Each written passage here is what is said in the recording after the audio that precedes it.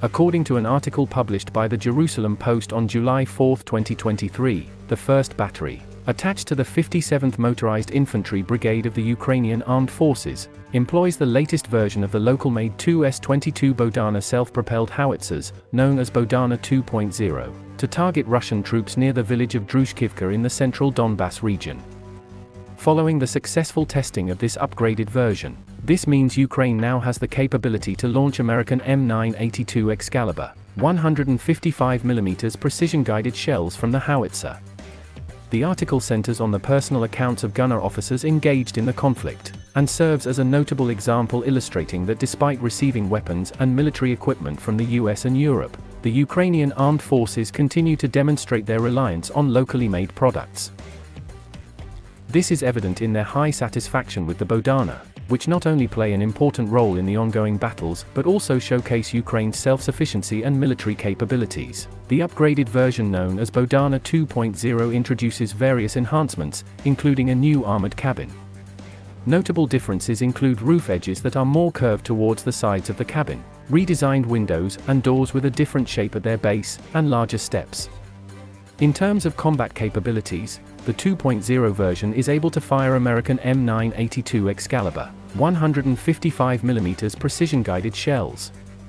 Additionally, a computerized fire control system has been installed on the chassis, enabling automatic targeting and target tracking. The Ukrainian forces have also updated the fire system to ensure effectiveness across different terrains.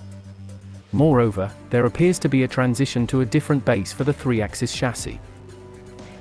The 2S-22 Bohdana is a 6x6 self-propelled howitzer, unveiled in 2018 during the Kiev Independence Day parade, has conducted its first firing and trial tests in October 2021.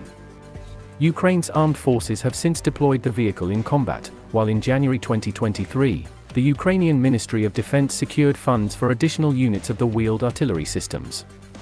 The self-propelled howitzer, equipped with a 155mm cannon, is mounted on the KRAZ 6322 military truck, and it is entirely designed and manufactured in Ukraine by Kramatorsk heavy-duty machine tool building plant. Similar in design to the French Caesar and Israeli Atmos wheeled self-propelled howitzers, the 2S-22 Bohdana is built on a 6x6 truck chassis. It features an armored cabin at the front and the artillery gun system at the rear. The howitzer is capable of employing conventional NATO ammunition with its 155mm cannon, enabling it to achieve a firing range of up to 42 km with HEIAP ammunition, and up to 50 km with artillery rocket-assisted projectiles.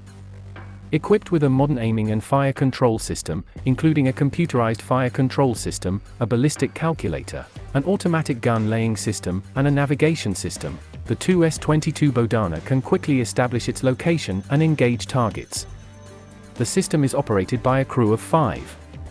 Benefiting from the utilization of the KRAZ truck chassis, the 2S-22 Bohdana offers excellent mobility in both on-road and off-road conditions. It can achieve a maximum road speed of 80 km per hour and has a cruising range of up to 1000 km. The vehicle is capable of crossing vertical steps of 0.7 m, trenches of 1m, gradients of 60%, and side slopes of 30%. Additionally, it can ford through water up to a maximum depth of 1.2 m.